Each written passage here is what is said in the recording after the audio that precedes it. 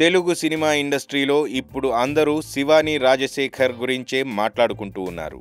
రాజశేఖర్ జీవితల ముద్దుల కూతురైన ఆమె తన అందం అభినయం ఏంటో నిరూపించుకోవడం తల్లిదండ్రుల ఆశీర్వాదంతో తమిళంలో ఎంటర్ అవుతోంది.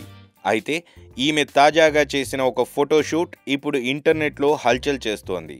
అగ్రదర్శకులు సైతం ఈమె అందం గురించి పాష్ లుక్స్ గురించి మాట్లాడుకుంటూ ఉన్నారు.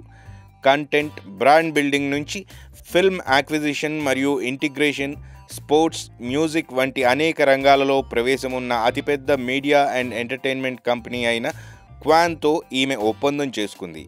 ఇంతకుముందు క్వాన్ చాలామంది హిందీ తెలుగు తమిళ అగ్రతారలను లాంచ్ చేయడంలో కీలక పాత్ర పోషించింది. స్టార్ హీరోయిన్ అయ్యే లక్షణాలు శివానీలో పుష్కలంగా ఉన్నాయంటున్నారట నిర్మాతలు.